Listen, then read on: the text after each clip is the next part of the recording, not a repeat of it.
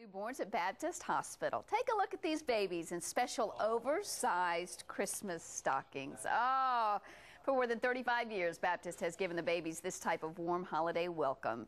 The babies are seen as a gift, not just to the families, but to the staff as well.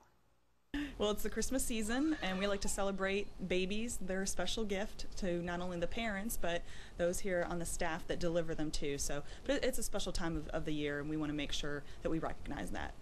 More than 250 babies will be given the stocking this week alone at the hospital. Parents get to keep the stockings once their baby heads home. Scott makes me want to have a third. I tell you what, the ultimate Christmas gift, folks.